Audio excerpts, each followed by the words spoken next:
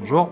Aujourd'hui, nous avons décidé de vous interviewer car nous sommes très intéressés par le monde d'aujourd'hui et plus particulièrement la vie de nos citoyens et donc de nos internautes. Donc, est-ce que vous pouvez nous parler de vous? Bah, Déjà, merci de me recevoir, hein, ça fait très plaisir de venir ici. Écoutez, parlez de moi, hein, j'ai la vie la plus classique possible, hein, métro, boulot, dodo, j'ai envie de vous dire. Euh, voilà, vous m'avez parlé de mon métier, bah, je l'adore, tout simplement. Voilà, c'est une, c'est une passion, tout simplement. On voit ça dans votre voix. Qu'est-ce qui vous a amené à le faire?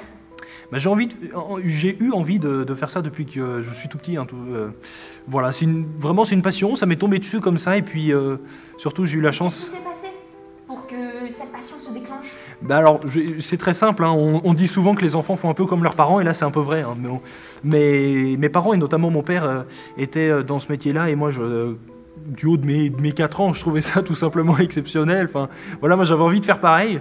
Et du coup, bah, j'ai imité mes, parents et j'ai tout fait pour y arriver. Puis après, c'est devenu une passion hein, en, discutant avec lui. euh, vraiment, ça a confirmé le, fait que je voulais faire ça. Donc du coup, votre père est un modèle pour vous. C'est une image, une idole. Ah bah complètement, c'est complètement une image.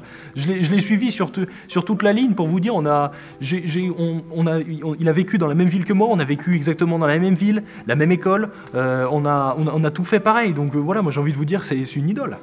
Et donc du coup, quelle école est-ce que vous avez poursuivi?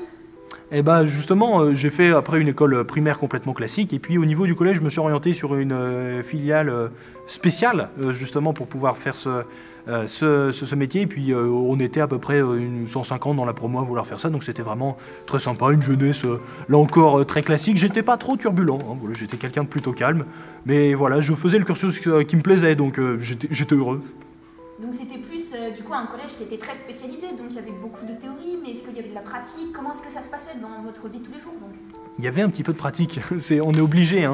Euh, un petit peu de pratique pour se, bah, pour se former et puis aussi pouvoir faire, euh, réussir à faire ça de- devant les gens. Enfin, c'est, c'est un, petit peu, un petit peu complexe, mais on, on apprend très vite. C'est donc vraiment un métier qui est à la vue de tous, euh, qui est très en contact avec les autres? Ah, c'est beaucoup de contact, effectivement. C'est, c'est avec ça qu'on, que, l'on, que l'on raisonne et que l'on réfléchit. Le contact fait tout. Bien. Vous travaillez en équipe, vous travaillez seul, euh, quelles sont euh, toutes les modalités de ce travail en soi? Non, jamais en équipe, toujours seul. Toujours seul? Toujours seul. D'accord. Et donc du coup, euh, qu'est-ce qui, vous, qu'est-ce qui vous motive maintenant tous les jours à continuer à faire ce métier? C'est la, la visibilité surtout, et puis une sorte de, de gloire intérieure que l'on a quand on le fait. C'est très gratifiant et je pense que c'est ça qui me motive. Est-ce que la crise sanitaire, euh, qui date depuis maintenant deux ans, a eu un grand impact sur votre visibilité donc? Ah bah, complètement, la crise sanitaire euh, a réduit un peu à néant euh, nos activités et puis euh, comme tout le monde était chez soi, c'était très compliqué pour nous de, nous, de faire nos, représentations tout simplement. Donc euh, voilà, c'était en effet compliqué, mais il faut toujours rebondir, toujours aller de l'avant car sinon on ne s'en sort jamais. Et est-ce qu'il y a eu beaucoup d'impact financier donc pour vous? Est-ce que c'était compliqué d'acheter votre matériel, euh, de pouvoir euh, faire euh, plus de présentations? C'était un petit peu compliqué, mais vous savez, le matériel euh, n'est jamais obsolète en, en une seule année, donc euh, les deux ans n'ont pas trop rendu le matériel obsolète et on a pu euh, quand même l'utiliser.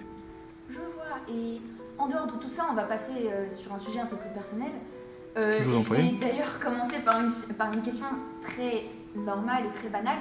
Quelle est donc votre couleur préférée, Monsieur Forrest C'est le rouge. Mais pas un rouge simple, un rouge un peu vermeil. Pas le rouge clair, le rouge beaucoup plus foncé. Vous voyez un peu le rouge sang. Le rouge sang? Oui, le rouge sang. Parce que je suis tueur à gages.